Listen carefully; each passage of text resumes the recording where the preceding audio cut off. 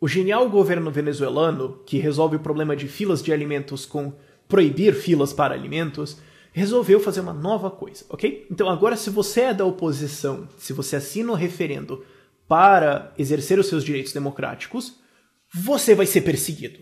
Essa é a ameaça que está sendo feita. Tem um referendo revogatório sendo feito, sendo convocado, sendo puxado pela oposição para fazer uma nova eleição e ver se o Maduro sai do seu cargo ou não.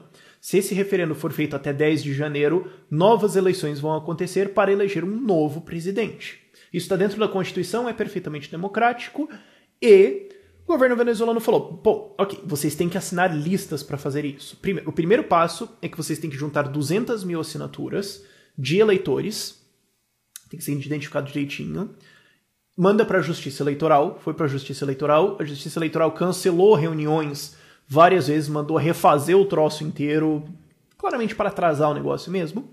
E ele tá bom, vai, junta, vai, vai pro próximo passo. O próximo passo é então juntar 4 milhões de assinaturas, 20% do eleitorado, e se isso for entregue, validado, então o novo referendo é desencadeado. Você tem uma nova eleição que pode retirar Maduro do seu cargo. De novo, perfeitamente democrático, mas uh, caras como o Diosdado Cabalo, vice-presidente do partido do Maduro, falou o seguinte: nós vamos compilar dessas 200 mil assinaturas listas de quem assinou isso ou não, vamos ver, e mandar para os ministérios, para as prefeituras, para as administrações, para as autarquias do Estado, para demitir essas pessoas, para perseguir esses caras, porque esses caras não podem estar tá lá, tem que tirar mesmo.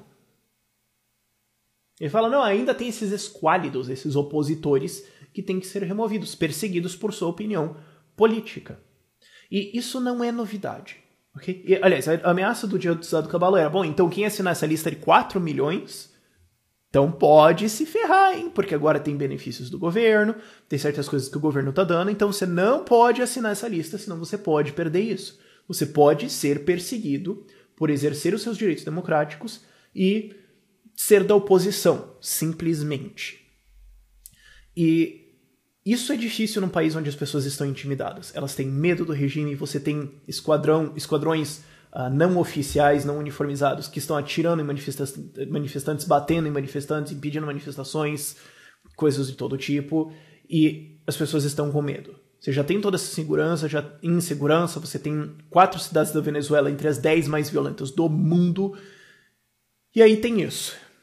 Isso é claramente uma tática para atrasar isso, para impedir esse referendo de acontecer. Que, de novo, não é muito característico de um regime democrático. Eu gostaria de saber como que a esquerda vai continuar defendendo isso, porque não tem como você valsear ao redor do fato que isso é perseguição da oposição. E, como eu ia falando, isso não é novidade. Isso já aconteceu em 2004, na chamada Lista Tascon. Tentaram fazer um referendo para revogar o Chávez em 2004. O referendo chegou até a acontecer, ele ganhou via basicamente subornar a população, mas o que aconteceu? Depois, um legislador chamado Tascon fez, publicou a lista de quem assinou, de quem pediu para esse referendo acontecer. Essa lista foi impressa, ela existia, ok? Essa lista está aqui e tal. E daí vamos ver. Uh, você quer um cargo no governo? Você quer um, um benefício governamental? Peraí, vamos conferir se você está na lista Tascon. Opa, tá. Hum, então não vai ter emprego para você hoje, meu amigo, porque você é da oposição, porque você exerceu seu direito democrático, entendeu? Então, aí não rola mais, sabe como é que é?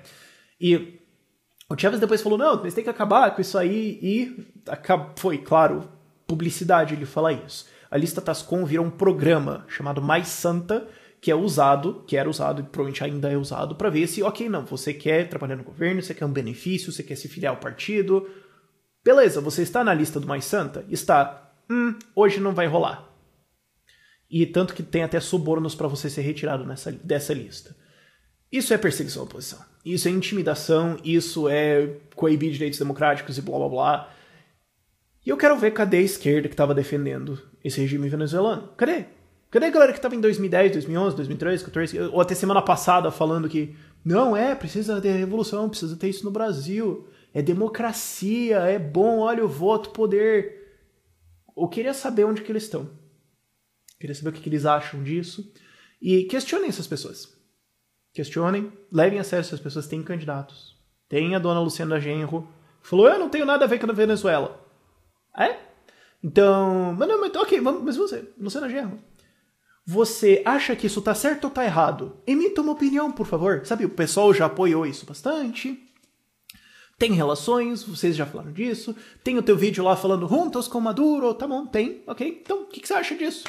Dessa perseguição da oposição? Você é a favor? Você é contra? A gente gostaria de saber, já que você quer ser prefeita da cidade de Porto Alegre. Eu acho que é relevante uma opinião nisso. É um simples sim ou não. Não vai custar muito tempo. Ela pode só gravar um vídeo falando sim ou não. Você é a favor disso ou não? Só isso que a gente quer saber, ok? Dúvidas nos comentários, links na descrição. Por esse vídeo é isso. Tchau, tchau.